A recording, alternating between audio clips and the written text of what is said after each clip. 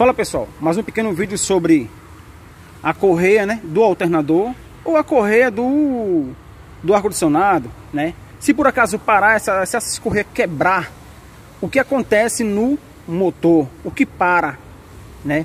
O que pode danificar? Será que pode quebrar o motor, estourar, travar, esquentar, parar de funcionar algum compressor de ar, algum alternador, alguma bomba de água, alguma ventoinha, um ar-condicionado? O que vai parar e o que pode causar se por acaso você insistir, tá bom? E outras coisas a gente vai falar nesse vídeo. Espero que você que é novo no canal se inscreva. Se inscreva dessa força, ajuda muito você se inscrevendo, não paga nada, é só grátis, né? E deixa um like se o vídeo realmente foi útil. E comenta aí, pessoal. Pode comentar que ajuda muito também, tá certo? Comenta aí. E na descrição, dá uma olhadinha lá. Tem vários links de vários vídeos de, de, de toda a área mecânica e pneumática tá bom? E estou correndo também atrás da parte de injeção eletrônica para poder compartilhar meus conhecimentos um pouco com vocês. Lembrando que é, eu vou deixar, pessoal, vou deixar na descrição o número do WhatsApp do grupo, do grupo. Nesse grupo lá, nesse grupo vai ter, vai ter não tem, tem vários profissionais e vai entrar mais ainda profissionais nesse grupo, porque eu não, eu não consigo e não estou conseguindo responder a todas as pessoas do WhatsApp tá bom? Não consigo de jeito nenhum, tem como mais responder a todos. Então nesse grupo, se algum profissional tiver tempo, ele responde a você. Agora se não tiver tempo, só esperava, é complicado, porque a correria é grande. Então entra nesse grupo lá. Lembrando que eu vou também postar vídeo nesse grupo, tá certo? Então conto com a ajuda de todos. É isso aí. Então o seguinte é isso. Digamos aqui, deixa eu só me aproximar, me aproximar um pouquinho mais, fica melhor. Pronto, então eu já, já tô mais próximo. Então o seguinte é esse aqui, ó. Essa correia, que esse aqui é um caminhão do motor MAN, caminhão 2480 mais, não importa o caminhão, carreta, trucado, toquinho, é, 3 quartos, quando, quando eu digo 3 quartos, é aqueles caminhão pequeno, né? Os caminhões pequenos, não importa se é baú, se é Mercedes, não importa a marca dele, 3 quartos, esses caminhãozinhos pequenos. E também tem os outros, os outros menores ainda, né? Menor do que o 3 quartos ainda, tem os outros, caminhão, os outros caminhãozinhos. E outra coisa, aí para toda a área dos caminhões a diesel, é, picape, todos eles que trabalham com correia, com correia do alternador, com correia aqui, não importa se é alternador ou não, porque existe correia que pega no alternador, mas também tem outros correias que pegam em outro lado, que deixa o alternador individual. Pronto, sobre o ar-condicionado, a correia do ar-condicionado torar, a única coisa que vai parar de funcionar é somente o compressor de ar, do ar-condicionado no caso, né, do ar-condicionado, vai parar de funcionar. Você vai sentir na hora que parou de funcionar ele. A correia vai voar na linha, vai saltar. Pode chegar a danificar a outra correia, né? A correia do alternador. Pode chegar a danificar a, a ventoinha, pode quebrar ela. Pode chegar também a torar o fio. Isso se o seu tiver o fio. Esses fiozinhos aqui dá para acionar a poliviscosa, né? Mas fica somente a dica nisso aí. Sobre a correia do alternador, que todo, todos os motores dos caminhões, de todos os carros que eu falei agora, tem uma correia para o alternador. O alternador, ele, a função dele é para gerar é, amperagem para a bateria, né? A amperagem e a tensão para a bateria, para alimentar a bateria. E o seguinte é esse, se por acaso a correia torar, tem caminhões, tem caminhões que que a bomba d'água, no caso desse daqui, esse daqui, a bomba d'água é essa daqui, ó. Tem essa polia. Se você chegar no seu caminhão, vai olhar a correia, se a correia trabalha junto, trabalha a, alinhada com a bomba d'água. Se por acaso a correia torar, né, e o seu trabalha com bomba d'água, a correia trabalha com bomba d'água aqui, é um conjunto aqui, ó. alternador, bomba de água. Se ele trabalha nesse conjunto, o que vai acontecer? O que vai acontecer é isso aqui, ó a polia ela para de funcionar, para, para de girar.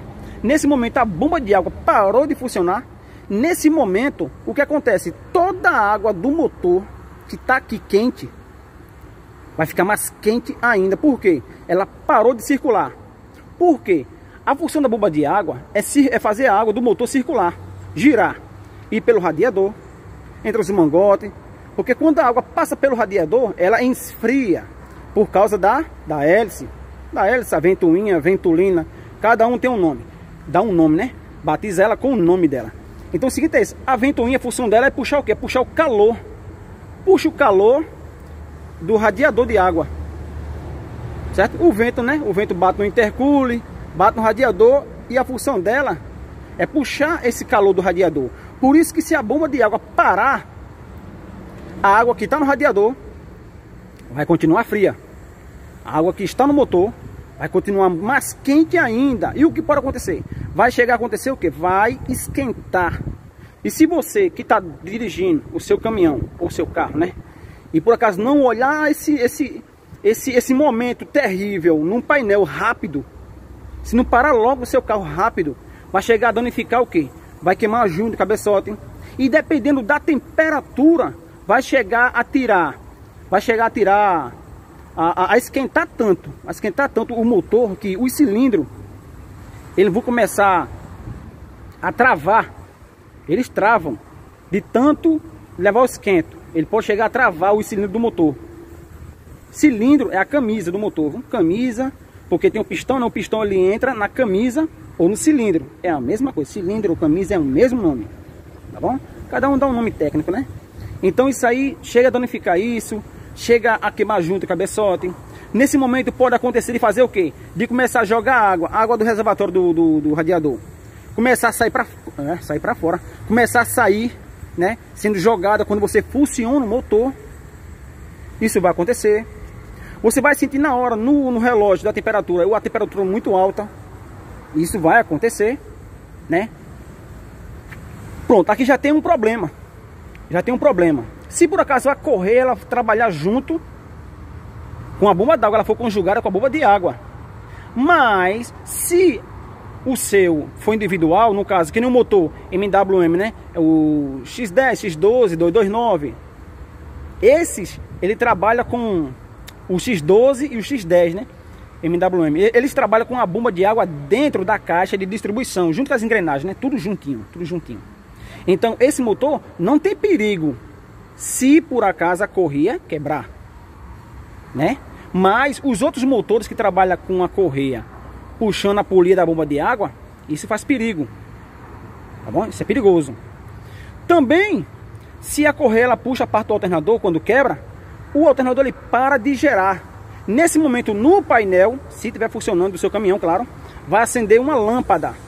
Uma lâmpada em, desenho de bateria, no desenho da bateria, informando que é, nesse momento tem alguma coisa errada com a parte elétrica. Do, começando pelo, pelo, pelo alternador. Porque se a correia torar, ele para de funcionar. Já fica já ciente disso. Tá bom? Qualquer coisa, se tiver dúvida, manda um comentário. Eu vou tentar estudar o seu comentário para poder fazer um vídeo, para poder eu aprender com você e você aprender comigo. Tá bom, pessoal? Essa focinha aí. Bom, nesse momento, você pode analisar o que? Se tiver mais coisas conjugadas com a correia, já sabe que se ela quebrar, foi ela que, que fez parar. Então, nesse momento, o mais delicado, o mais delicado é a polida bomba de água, né?